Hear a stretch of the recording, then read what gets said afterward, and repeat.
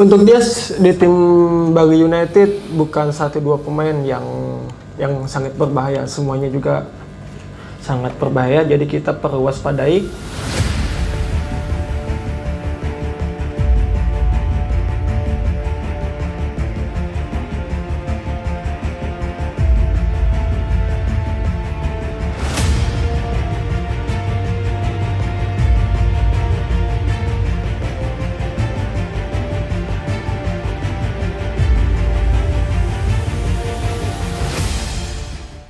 Pemain bek kanan Dewa United Dias Angga menyatakan siap menghadapi mantan rekan satu timnya di skuad Bali United. Dias dan kawan-kawan optimis untuk fokus dan disiplin agar bisa mencuri poin di Dipta pada Sabtu tanggal 10 September tahun 2022.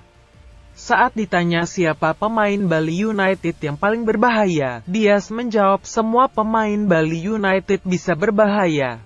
Uh, apa yang seperti coach bilang kita dalam keadaan sehat semuanya alhamdulillah. Dan kita juga uh, tim Dewa United akan berjuang untuk mendapatkan poin di sini. Dan juga semoga Allah memudahkannya.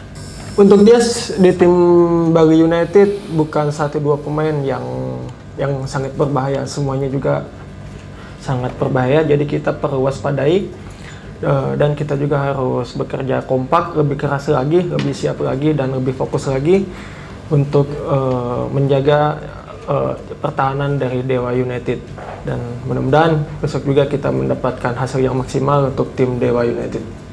Nah, ya uh, menurut dia sebagai pemain bola profesional kita harus siap dengan menghadapi segala segala keadaan.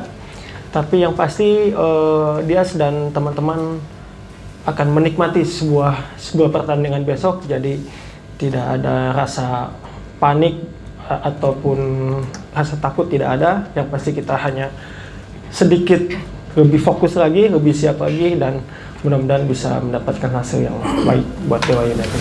Baik, terima kasih.